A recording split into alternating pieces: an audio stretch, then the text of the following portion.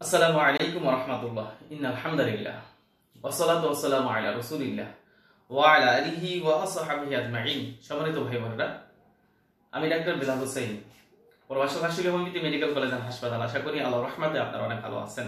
আলহামদুলিল্লাহ আমি অনেক ভালো আছি। আজকের বিষয়টা হলো ওয়ার্কাইটিস, অন্ডকোষের প্রদা আজকে অন্ডকোষের প্রদা নিয়ে আলোচনা করব যে কেন অন্ডকোষের প্রদা হয় এবং এটাকে কীভাবে হোমিওপ্যাথি মেডিসিন দ্বারা আপনারা অতি সহজে দূরীভূত করবেন সেই বিষয়টা নিয়ে কিছু আলো- আলোকপাত করব। তাই ধৈর্য ধরে এই ভিডিওটা দেখবেন। অর্কাইটিস নিয়ে আমরা অনেকেই অর্কাইটিস হয়তো আমরা বাঙালিরা জানি না, কিন্তু অন্ডকোষের প্রধা বা অন্ডকোষের অনেক সময় বিভিন্ন রোগ হলে ফুলে যায়, এসে বলে যে আমরা অন্ডকোষটা ফুলে গেছে, এটা হয়েছে বা আঘাত লাগছে। বিভিন্ন কারণে আমরা বিভিন্নভাবে এটাকে ডাক্তারের কাছে বলে থাকি, কিন্তু এটাকে আমরা ওয়ার্কাইটিস বলে থাকি।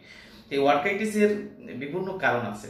এটা বিভিন্নভাবে এটা আপনার ফুলে উঠতে পারে বা বিভিন্ন কারণে এটা আপনার রোগ দেখা দিতে পারে। তার ভিতরে আমরা এটাকে চার ভাগে বিভক্ত করতে পারি। কত ভাগে?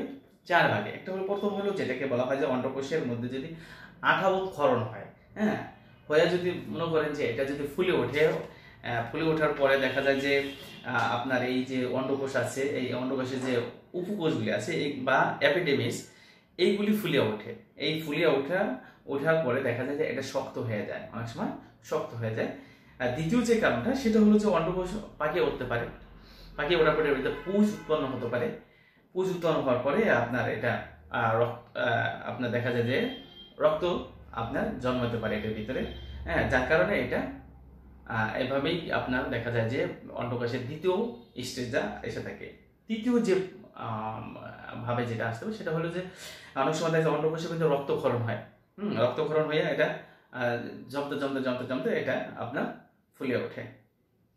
তৃতীয় যেটা হলো সেটা হলো হাইড্রোসেল এই হাইড্রোসেল কিংবা একশিরা কারণে এটা উৎপন্ন হতে পারে।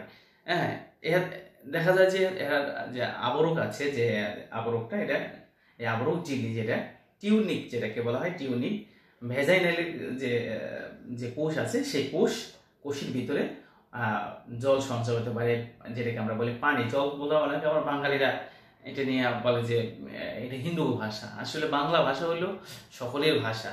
শুদ্ধ ভাষা হলো যে, বাংলা ভাষাটাই হলো জল। হ্যাঁ এই জল সংশয় হতে পারে।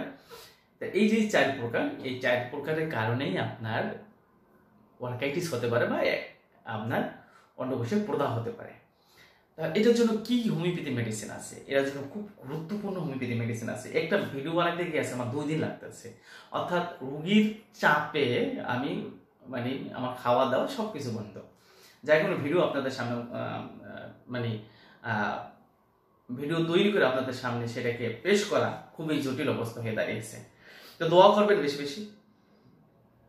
আর সবচেয়ে বড় কথা হলো এই যে রাস্তায় জ্যামের কারণে মানুষগুলি আসার কথা হলো আপনার নয়টায়, আসা হলো তিনটায়। এই অবস্থা আমাদের বাংলাদেশে। একটা মেডিসিন আছে ওয়ারামমেট দিব। অনেক সহজ সহজ মেডিসিন আছে, অনেক কঠিন কঠিন মেডিসিন যেগুলি পাওয়া যায় না, আমি সেটি দেবো না ওয়ারাম মেডটা পাওয়া যায়। এই ওয়ারামমেটের আপনার থার্টি অথবা দুইশো আপনি ব্যবহার করতে পারেন। কীভাবে ব্যবহার করবেন? কোন লক্ষণ করে? যেটা দেখা যায় যে পুরাতন আপনার অন্ডকোষের প্রথা যেটা আছে হ্যাঁ এই এবং কি এটা ডান দিকে আক্রান্ত হয়। কোন দিকে? রাইট আপনার রাইট টেস্টিসে যদি আক্রান্ত হয়, অর্থাৎ রাইট সাইডে যদি আক্রান্ত হয়, এই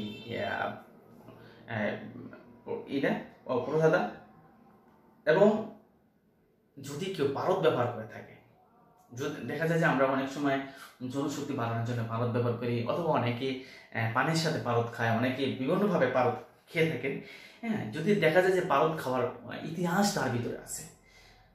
এবং রোগীর মানসিক অবস্থাগুলোতে বেশি বিষণ্ণতা থাকে এবং নৈরাশভাবে থাকে, রোগী মনে মনে সর্বদাই আত্মহত্যা করে ইচ্ছাধারী কিন্তু আত্মহত্যা করে না। তার মনের ভিতরে একটা ভাবনা সেটা মানসিক, যেটাকে মেন্টাল সিমটম বলা হয়, যে তার মনের ভিতরে সব সময় একটা সে ভাবে যে আত্মহত্যা করতে হবে। তার জীবনটা নিয়ে সে বিষণ্ণতায় ভোগে। হ্যাঁ? এবং কি তিনি এই চিন্তা করতে করতে অনেক সময় অস্থির হয়ে যায়। তাহলে আপনারা তাকে এই ওয়ারামমেট আপনারা ব্যবহার করতে পারেন থার্টি অথবা দুইশো কীভাবে ব্যবহার করবেন? যে কোনো সময় ব্যবহার তো করা যাবে না। তবে সকাল এবং রাত্রে সবচেয়ে হলো বেটার হলো সকাল এবং রাত্রে যদি আপনারা ব্যবহার করেন খাবারের এক ঘণ্টা আগে।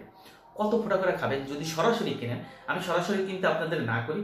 আপনারা কিনবেন হলেও সবসময় এটাকে বানিয়ে, অর্থাৎ, এটা আমরা যেভাবে বানিয়ে দিই, এভাবে বানিয়ে দিলে সবচেয়ে বেটার এটাকে সকালে এবং রাত্রে রোগ অনুসারে। এই জন্য ডাক্তারের সরপন্ন হয়ে ডাক্তার কীভাবে বলে বা ডাক্তার কাছে কিনবেন তার কাছে একটু খুলে বললেই তিনি আপনাকে মানে এটার উপদেশটা দিয়ে দেবে। আশা করি অনেক মেডিসিন আছে। অনেক মেডিসিন আছে। আপনাদের যাদের এই সমস্যা আছে, যে কোনো হোমিওপ্যাথিতে আছে, আপনারা যাবেন।